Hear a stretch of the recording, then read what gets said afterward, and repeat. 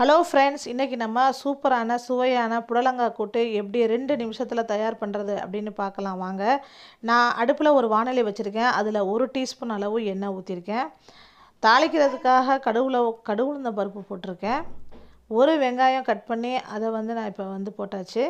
இப்போ அந்த வெங்காயம் வெந்துட்டு இருக்கும்போது இந்த நேரத்தில் ஒரு ரெண்டு நம்பர் அளவுக்கு காஞ்ச மிளகாய் கிள்ளி போட்டாச்சு. இப்போ அதுவும் நல்லா வெந்த பிறகு இந்த ஸ்டேஜில் நம்ம கட் பண்ணி வச்ச புடலங்காயை போட்டுடலாம்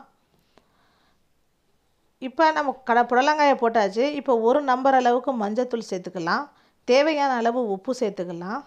சேர்த்துட்டு நம்ம நல்லா கிளறி விட்டு அதை ஒரு ரெண்டு ரெண்டு நிமிஷம் வந்து நம்ம லேசாக தண்ணி தெளிக்கலாம்.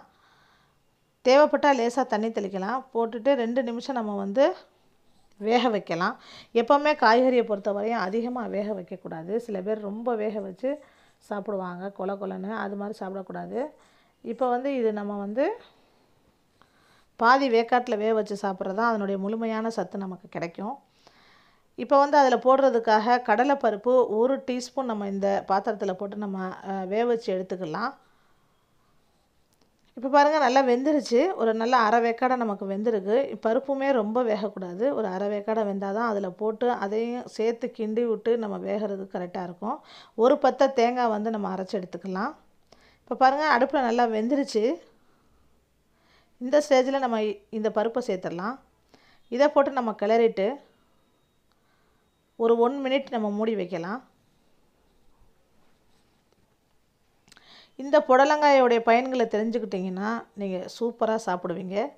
இப்போ நம்ம இந்த ஸ்டேஜில் தேங்காயை அரைச்சி வச்ச தேங்காயை ஒரு டீஸ்பூனை போட்டுடலாம்.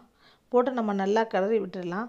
அவ்வளோதான் ஃப்ரெண்ட்ஸ் நமக்கு கூட்டு ரெடி ஆயிடுச்சு இது வந்து செம்மையாக இருக்கும். புடலங்காயில் நிறைய வெரைட்டி இருக்குது அதில் ஒரு வெரைட்டி தான் இது. சிம்பிளாக இருக்கும். ஆனால் டேஸ்ட்டாக இருக்கும். செஞ்சு பாருங்கள் செஞ்சு பார்த்துட்டு லைக் பண்ணுங்கள் ஷேர் பண்ணுங்கள் கமெண்ட் பண்ணுங்கள் கண்டிப்பாக சப்ஸ்கிரைப் பண்ணுங்கள் புடலங்காய் வந்து எப்போவுமே உடம்புக்கு ரொம்ப நல்லது. நார் சத்து அதிகமாக இருக்குது இது வந்து இதய நோய் உள்ளவங்க ட சக்கரை நோய் உள்ளவங்க மூல நோய் உள்ளவங்களுக்குலாம் இது ரொம்ப நல்லது.